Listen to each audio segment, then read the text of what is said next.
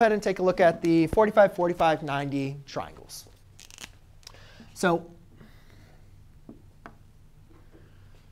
here's the important part. So we agreed, or at least you guys are listening to me, saying that the, the 45, 45, 90 triangle, where the, um, where the coordinate point, um, or where the hypotenuse is 1, is going to be the easiest to evaluate the sine, cosine, tangent. So let's go ahead and draw this on the coordinate grid. So that's 1, square root of 2 over 2. And this is going to be square root of 2 over 2. Now again, this is a 45 degree triangle, right? But in your, on, your, on our unit circle, though, we also want to include the radians. Does anybody know what 45 degrees, what that converts to radian form? Well, here's pi. Here's pi halves. Half of pi halves would be pi fourths, right? Wouldn't you guys agree 45 degrees is half of 90? Right? So yeah, this is actually the equivalent form of pi over 4. Okay. Now that we have, now again, we have the special right triangle on the unit circle, right? So we can actually determine this coordinate point, square root of 2 over 2, comma square root of 2 over 2. So that is the coordinate point that I'm providing to you guys in that first quadrant for that middle angle is square root of 2 over 2, comma square root of 2 over 2. OK. So here's the kind of trick that we need to kind of work on. If I take this triangle and I just put it in the second quadrant, last class period, what we learned was now everything's the same. The side, like the angle, that's still like a, a 45 degree angle, right? That didn't change. We still have a right triangle. This is still square root of 2 over 2. This is now negative square root of 2 over 2, right? So therefore, the coordinate point now becomes negative square root of 2 over 2, comma square root of 2 over 2. I'm actually just going to erase that. Wouldn't you guys agree? That's the only thing that changes there, is that coordinate point gets flipped over. Right? Now, we need to understand, though, if these have what we call the same reference angle, if I was to draw an angle from here to here, that's the angle we want to write down on our unit circle. Right? If you look at that, what is that angle, like to go from standard form, standard form for you is here, to rotate to there. Like what angle is that? So again, let's think about this. From here to here is 180. This is, has a reference angle 45 degrees. So therefore, you're really 45 degrees short of 180. So what is 45 degrees short of 180? 135. So this angle that we measure, like this angle right here, from here to here, that's going to be 135 degrees. Or what is pi over 4 short of 4 pi over 4? 3 pi over 4. OK? So again, remember, guys, all these angles that you're drawing, you're drawing these angles from standard form. So yes, the reference angles are all 45 degrees or pi over 4. But we're trying to find the angle for this. From here to here is 45 degrees. From here to here is 135. So what if we reflect this again? Again, we know it has the same reference angle, right? And then so what's, what's 45 degrees over 180? What would this angle be? From here to here, what would that angle be? From here to here is 180 plus 45 degrees. 225. And then what's pi over 4 over pi? So this is really 4 pi over 4, right? 4 pi over 4 is pi, plus pi over 4, which is 5 pi over 4.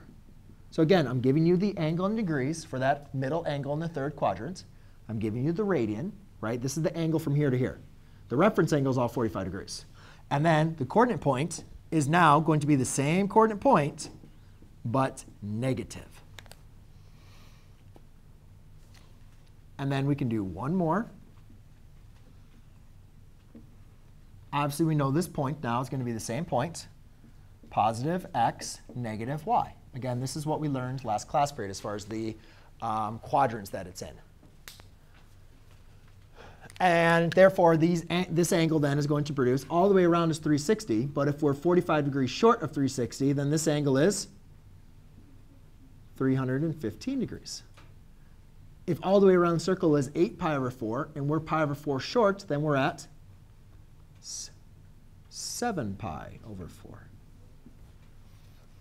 Okay? So I'm giving you guys all those angles. Does anybody have any questions as far as finding the angles for the um, 45 degrees or pi over 4 section? Yes? Um, for the bottom left, so the quadrant, what is the angle?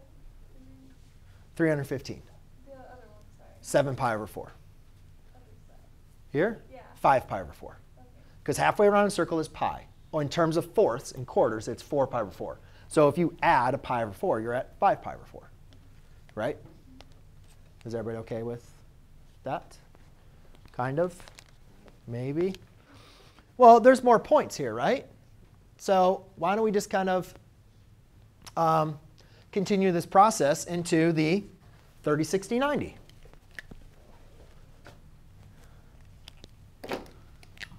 So let's do a 30, 60, 90 triangle. Same idea. Um, now, again, if this is going to be 30 degrees, now again, remember I said, when the hypotenuse is 1, that's going to make our life a lot easier. Okay? So that's 30 degrees. Now, does anybody know what the equivalent of 30 degrees is going to be in terms of radians? Close, pi over 6. So this is actually going to produce the first point. And if you guys look at that unit circle, again, these are all proportional. But you guys can see it at 30 degrees, we're going to be dealing with the square root of 3 over 2, 1 half. That means the first coordinate point you can write on that unit circle is going to be square root of 3 over 2, comma 1 half. And that's in the first quadrant. Right? And of course, it's going to be positive, right? Everything's positive in the first quadrant. Right? So now I gave you the angle, 30 degrees. And again, you can see that where that um, 30 degrees, where it's basically that first point is creating the triangle. Now I don't want you to draw the triangle in your unit circle because it's going to become too messy, which I'll show, which I'll show you in a second. Or I'll show you later. So then, now we're just going to do the reflections again. Let's reflect about the x-axis. So now it's basically going to be that lower point here in the second quadrant. The coordinate point, I think you guys can start to see the pattern, is just a reflection. The x is now negative. This has the same reference angle, but again, we're trying to find the measure from here to there. So again, halfway around circle is pi, or in terms of 6, or I'm sorry, halfway around circle, let's do degrees first. Halfway around circle is 180, and you're 30 degrees short of 180. So this angle from here to here is, what's 30 degrees short of 180? 150. What about in terms of radians? Halfway around circle is pi. In terms of 6, you could say 6 pi over 6. So what is pi over 6 short of 6 pi over 6? 5 pi over 6. And then let's do down here, this reflection. You guys can see that obviously, hopefully, you guys can see what's happening here. So notice the points, guys, are not changing. The only thing that's changing is the signs based on which quadrant we're in. Agreed? The reference angles are all the same. The distance from the angle to the x-axis is always going to be 30 degrees or pi over 6. So therefore, to speed this up a little bit, this is going to be 210. This will be 7 pi over 6. I'm just adding 30, adding pi over 6. Over here, my coordinate point is now going to be um, positive square root of 3 over 2, negative 1 half. All the way around is 360. Subtract 360, which is 330 degrees. In terms of radians, that's 12 pi over 6. Subtract pi over 6, that's 11 pi over 6. OK? So now you should have the bottom two angles covered on your circle. Now let's take that 30, 60 degree triangle and let's flip it one more time. Let's do a 60, 30 degree, 90 triangle. You're good. You can stop a seat. Oh, good. So what would that look like?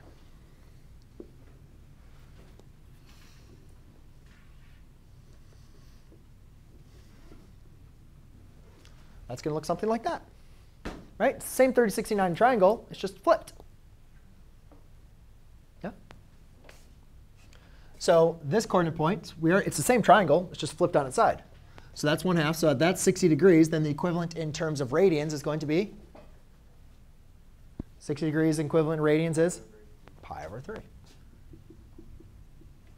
Right? Because 60 plus 60 plus 60 is 180. Pi over 3 plus pi over 3 plus pi over 3 is pi right? Yeah. 3 pi over 3? OK. So therefore, this is square root of 3 over 2. 1 half comma square root of 3 over 2. Can we do the angles kind of rather quickly now? It's just the reflections. It's the same points. Do this point in the second quadrant. OK, Ms. Burgon, we're doing the same thing over and over again. Yes, you're right. This is negative 1 half square root of 3 over 2. This is 60 degrees short of 180, so therefore it is 120 degrees. It's pi over 3 short of 3 pi over 3, which is 2 pi over 3. Then we do down here. Same point, different signs. 60 degrees, 180 plus 60 is 240. Pi over 3 over 3 pi over 3 is 4 pi over 3. Then we do this reflection. Same point, now 1 half times negative square root of 3 over 2. So 360 subtract 60 degrees, which is 300. 6, 6 pi over 3 subtract 1 is 5 pi over 3. Okay? So I want to make sure, guys, when you're, you know, when you look at this unit circle, the reason why I'm going through this is again, so you guys can like understand where these points are coming from. They're not just random points that you're like, hey, here's the points on your circle, memorize them. No. Literally, you look at look at what I did. Look how much time I spent doing this. I took every single special right triangle that we had.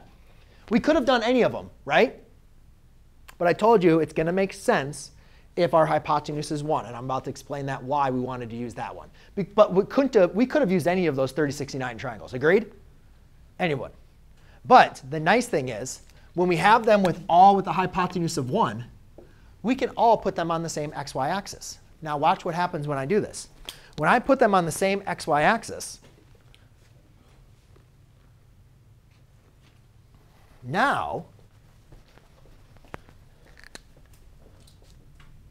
they're going to look like this.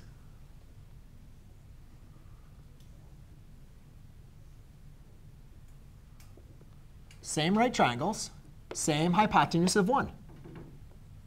Here's the coordinate points that you're taking away, right? And hopefully you guys can start to see that, oh, well, what if I had this as a hypotenuse of 1, or this had a length of 1, and that has a length of 1? Well, if I start to connect these, that's where I'm getting that nice little curvature. And that's why I have a circle instead of triangles on my piece of paper. Yes?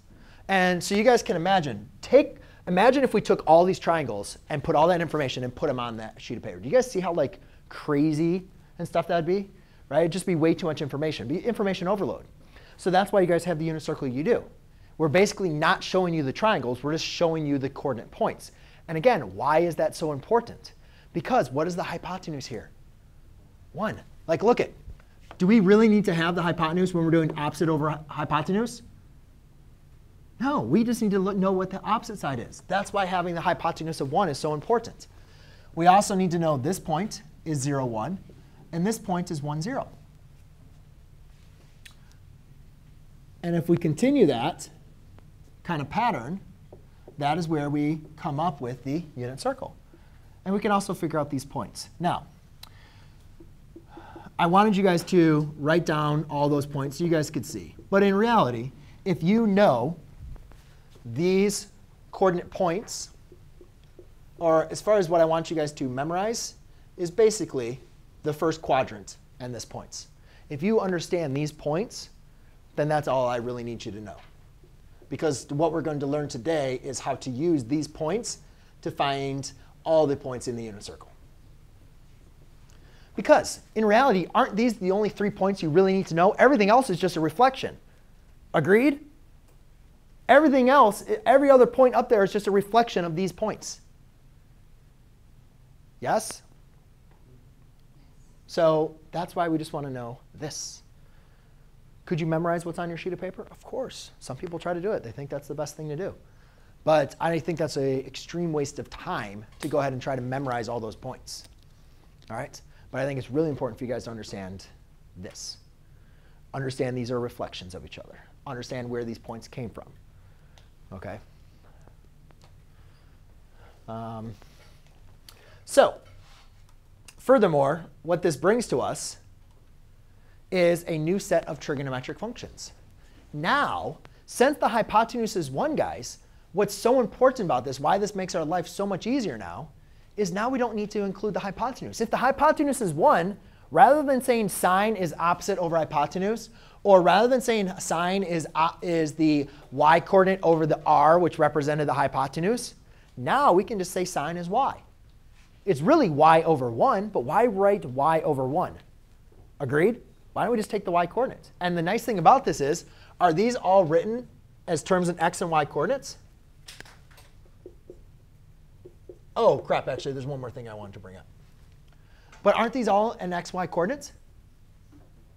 Yes. And again, that actually brings up my one last point, actually, I forgot to mention. So, real quick, before you guys think about that, just look up here real quick. That, guys, that's not going to go away. I'll, uh, that's going to be up there. You'll have plenty of time. Trust me. But one thing I want you guys to understand is, why don't we have this point? Why don't we talk about that point? Like, why don't we have that coordinate, those coordinates? It still has a radius of 1, yeah? But it, is it because it's just the same thing right here? Well, we, well, first of all, we don't know, like, this creates a triangle. You can create a triangle at this point. The only problem is we don't know the sides of that triangle, right? The only reason why I chose these is because we know these, right? I gave these you guys in day one. We talked about the special right triangles, right? I showed you that special relationship.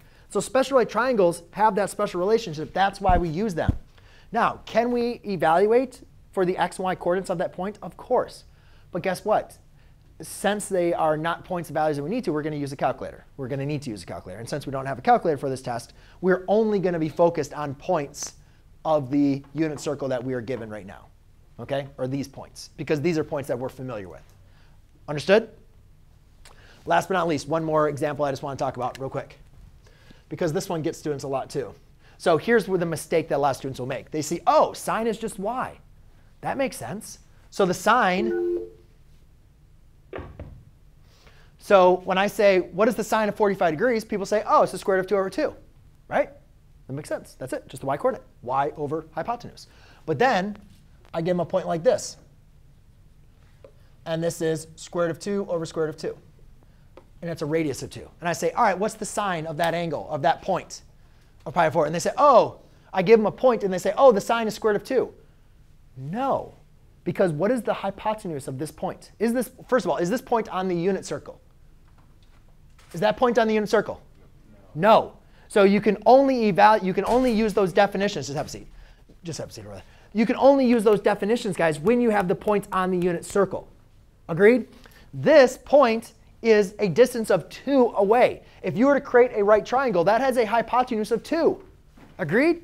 So you have to go back to your old definition, y over r. Yes? So please only include the y coordinate as the sine when it's, on, when it's a point on the unit circle. If it's not on the unit circle, you need to do y over r, where r represents the hypotenuse, or create a triangle. Agreed? Understand? OK, that's just one of those common misconceptions students will make. All right, but make sure you guys have those. And again, make sure you guys understand the reciprocal relationship